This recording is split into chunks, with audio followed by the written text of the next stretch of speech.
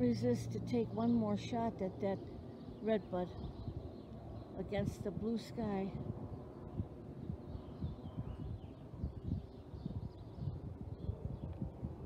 Let's take a look and let's see how some of these.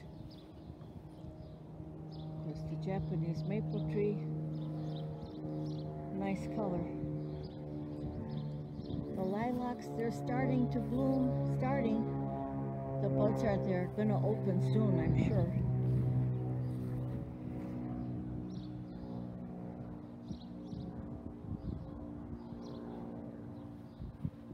There's the Dianthus in the wheelbarrow. hmm That's gonna be fun when it opens. Hot pink flowers.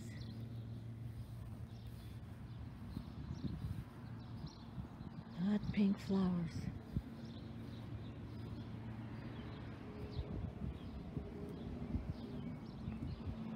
And up we go. Look at that red bud. I wish those flowers could stay up all year, all summer long, but soon they will be gone. But it's wonderful to look at. And the Euonymus, along with my path of uh, creeping speedwell. That's going to be nice with the when we get some flowers planted. But look at this. This is Euonymus. It's a golden, golden Euonymus, and I let it grow into the redbud tree. So at the bottom, that's what I call a marriage. Two plants together, huh? That golden color against the pink, the pink red bud that just goes up and up and up and up and on and on against that blue sky today. I had to do get out here and take these pictures. We've had a lot of rainy days, you know. And here's a nice little shot. So sweet. I trim this all up around here. Fairy book reader there. Pretty angel. nice.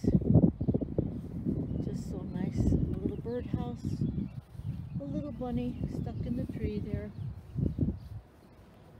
Okay, that's how we go. That's how we roll.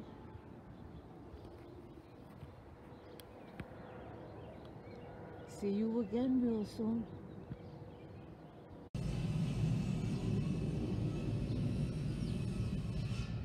There's the red bud in the backyard. We're coming in from a different angle.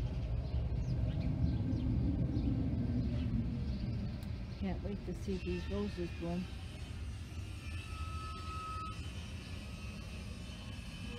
And these beautiful evergreens.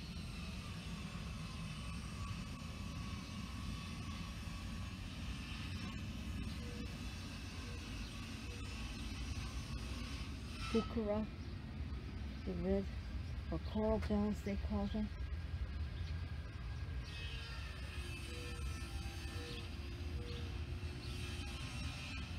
And here's that weeping cherry that I showed you in April when it was like a bridal wreath. Flowers are gone now. The tree has bloomed out.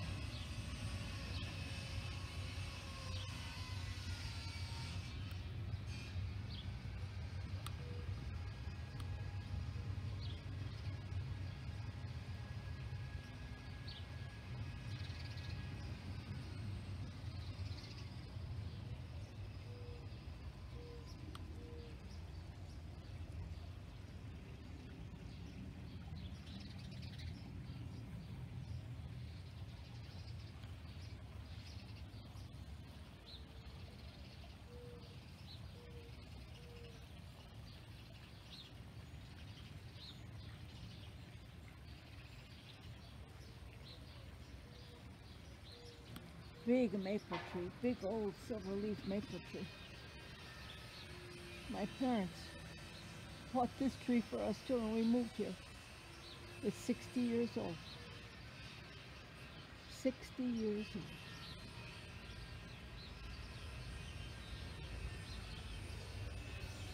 It's a nice climbing rose. A lot of branching. I hope it's going to be filled with flowers.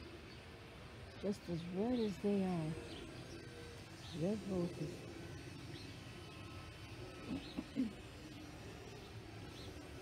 Not ready yet, but look at the leafing. The sound just is looking good.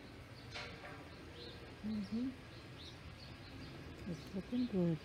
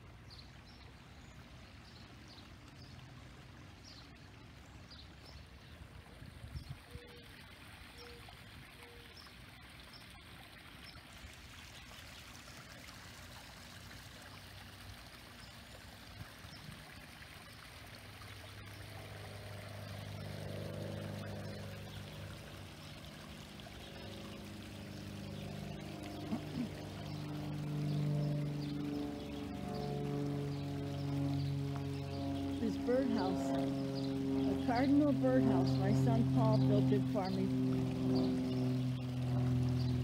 We've got some little birds in there too. Very busy running in there. Getting ready.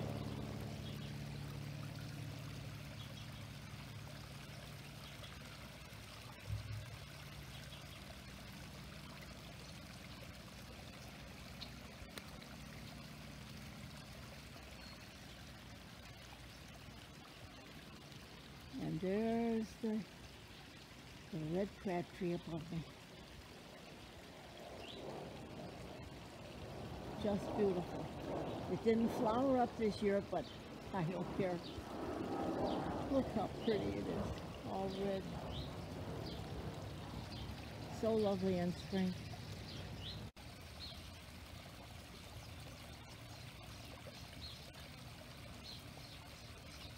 The bleeding hearts and uh, bishop's hat are still still in bloom. Cool weather kept a lot of these plants alive. Cool weather. Very cool weather. In fact, it was cold. It went from 80 in March to 30 in April. a lot of the plants are just starting to feel the rays of sun coming. The next few days are going to be getting warm again. And I think we're into May, May 3rd. No, today's already the 4th, so things are changing. Things are changing. The earth is moving along, showing what it wants to do. Showing what it to do. Up into the crab tree, which I love at this time of year because it's at its prettiest. It's red. It's this crab tree is at least 60 years old, close to 60 when I moved in here. My parents brought me this tree. A little twig. It's just beautiful.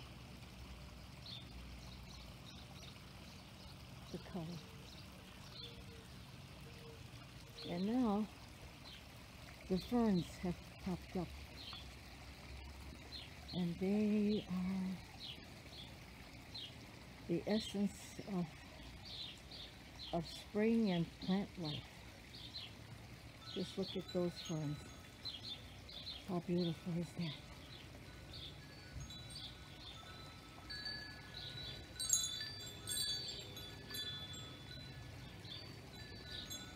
Beautiful.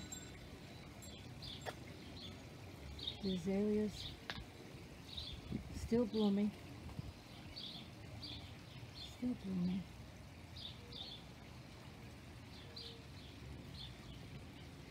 hostas. Sum and Substance. This gets huge. Sometimes five by five feet. They're magnificent. We'll come back again when they fully open. Some tulips, some tulips are still still around. And look at this Sol Solomon seal.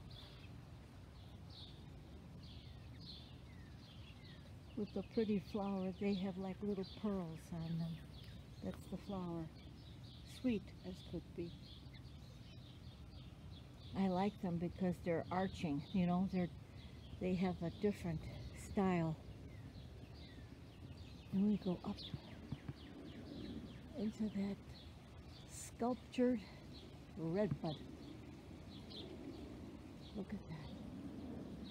Still so nice, so pretty. I love the trees. We'll just go back here, take a look at the hostas. When I showed you this a couple weeks ago, they were just poking through the ground. Now look at them already, they're all coming up. The Japanese grass is my favorite, I love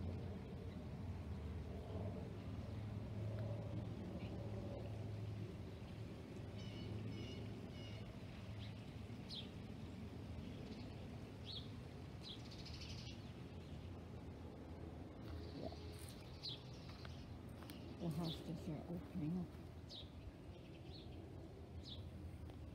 The sun is warming up the ground and the ferns are coming. Look at them already over a foot tall. Graceful. Graceful.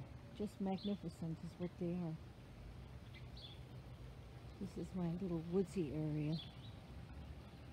All the hostas coming up. And the red leaf maple tree coming to life. There's the crab tree in the background, all red. Mm -hmm. And then we go up against the blue sky and the redbud. Some tulips still, they're still hanging in there. As I said, it's been cold. If the temperature had stayed the way it was prior to 80 degrees in March, we wouldn't have it. Here's a sweet little flower. such a sweet little flower.